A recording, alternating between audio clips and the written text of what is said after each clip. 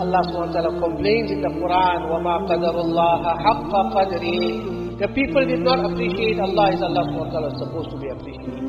وَكَأَيٍّ مِّنْ آيَةٍ فِي السَّمَاوَاتِ وَالْأَرْضِ يَمُرُّونَ عَلَيْهَا وَهُمْ عَنْهَا مُعْرِضُونَ The people pass by these things, you know, in life. They just pass by. And they don't even give it a thought.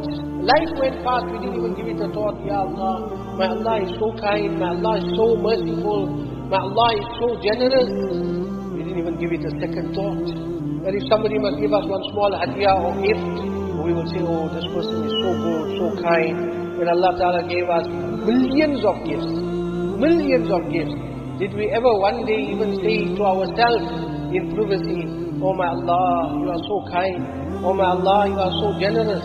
Oh my Allah, you are so bounteous. Oh my Allah, you are so benevolent. You are so merciful. You are so gracious. Did we ever take even five minutes to think about the bounties of Allah subhanahu wa ta'ala in privacy and thank Allah subhanahu wa ta'ala from the depth of our hearts? It is important that from time to time we should think about the favors of Allah subhanahu wa ta'ala and we should thank Allah subhanahu wa ta'ala so that Allah subhanahu wa ta'ala sees our gratitude and Allah subhanahu wa ta'ala gives us even more than what we have and more than what we deserve.